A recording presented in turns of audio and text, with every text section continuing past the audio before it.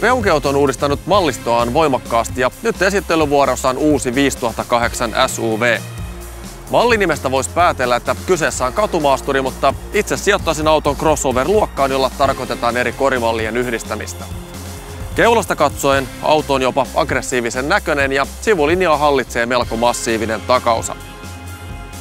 5008 moottorit on muusta mallistota tuttuja ja ajettavana meillä on malliston tehokkaan turbodiesel, jonka 2 litrasta koneesta on otettu tehoja 180 hevosvoimaa ja 400 Nm vääntöä.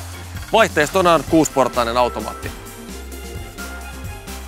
Lähdetään koittaa miltä peukiotti tuntuu radalla.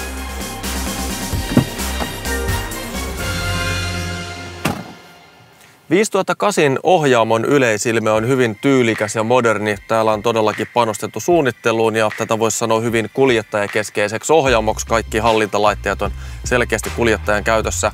Ajoasentoa varten löytyy erittäin monipuoliset säädöt sähköjakkarasta, joten tästä me lähdetään liikkeelle.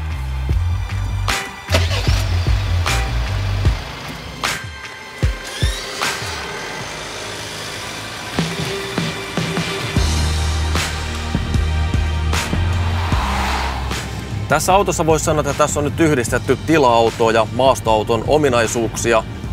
Autosta löytyy reilu 23 sentin maavara, joka tietysti mahdollistaa etenemisen huonollakin polulla, mutta etuvetosuus tietysti rajoittaa maasto-ominaisuuksia. Peugeotille ominaiseen tapaan ratti on poikkeuksellisen pieni ja mittaristoa katsotaan tästä ratin yli.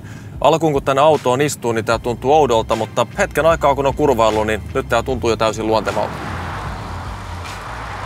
5008 alustaan on selkeästi haettu jämäkkyyttä. Tämä tuntuu hyvin tukevalta, mutta ikävä kyllä täällä on myöskin tullut sivutuottajana vähän pintakovuutta.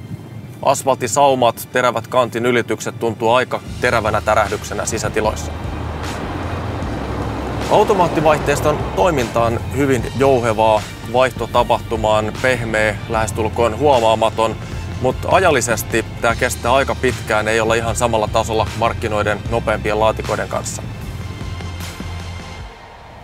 Rauhallisessa jossa 5008 suvi tuntuu ihan näppärältä käsiteltävältä, joten katsotaan miten auto käyttäytyy ääritilanteissa.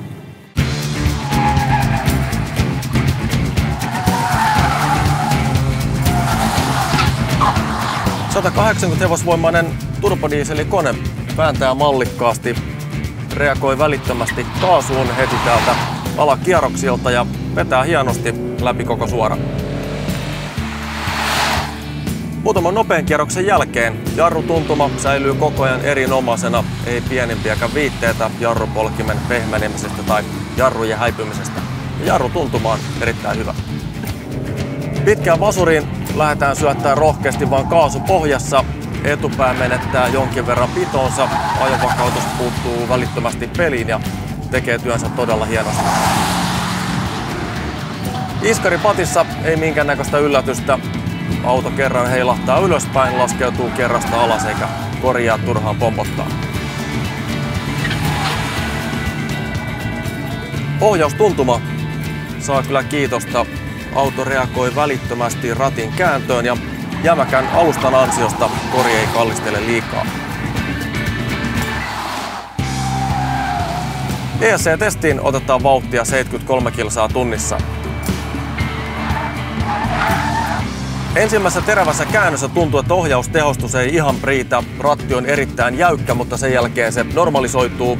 Etupää lähtee aika voimakkaasti luistaan, tuntuu vähän, että takarengas nousee jopa ilmaan. Auto on kuitenkin hyvin vakaa eikä mitään äkkinäisiä luistoja.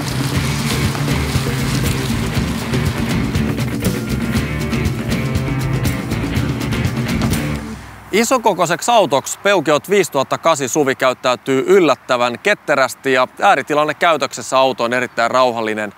Vaihteisto hoitaa vaihtotapahtumat hyvin huomaamattomasti, mutta nykymittapuun mukaan vaihtotapahtuma saisi olla aavistuksen nopeampi.